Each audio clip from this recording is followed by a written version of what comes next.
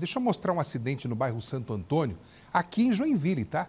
Motociclista se machucou, a nossa equipe esteve ali acompanhando de perto o atendimento da equipe de resgate e você vai ver comigo agora os detalhes na nossa reportagem. Foi por volta da uma hora da manhã, no bairro Santo Antônio, zona norte de Joinville.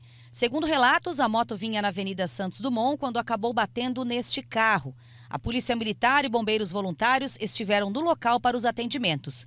O motociclista foi levado ao hospital com ferimentos. A gente chega no local, ele está ao chão, é, paciente estável, realizado é, sinais vitais, é, feito estabilização em, em fratura em membro inferior direito, protocolado encaminhado ao hospital.